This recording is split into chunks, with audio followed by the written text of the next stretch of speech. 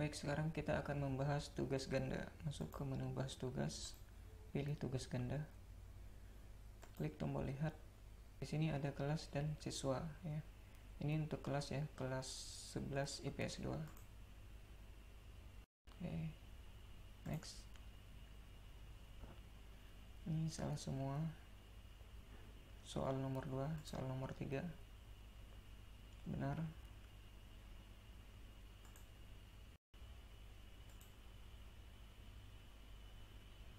salah semua.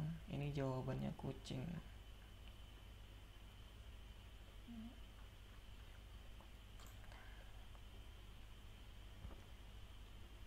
Listening. Ya.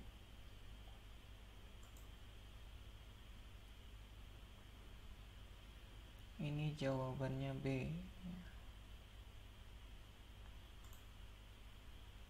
Salah semua Oke, baik. Sekarang kita masuk ke siswa tertentu ya. Nah, ini siswa tertentu. Next.